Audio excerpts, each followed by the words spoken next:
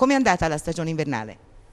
Molto bene, eh, abbiamo fatto circa 12.000 presenze, di cui 10.000 solo con le scuole, quindi nonostante non abbia nevicato tanto, però il tempo bello diciamo, ci ha molto aiutato e siamo molto contenti.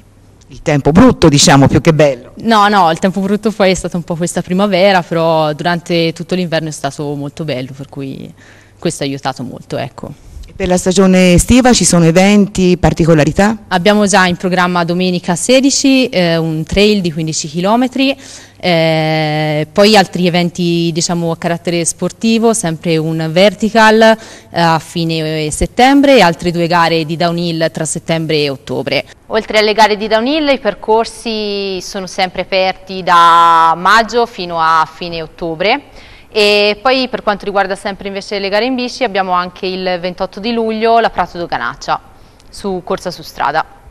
Abbiamo sempre il Parco Avventura e Bob su rotaia sempre aperti tutto l'anno e questa è anche un po' la nostra forza, nel senso che siamo sempre aperti tutti i mesi dell'anno, per cui eh, le persone che vengono trovano sempre sia rifugi dove poter mangiare, ristoranti, pizzeria, sia le attività da svolgere.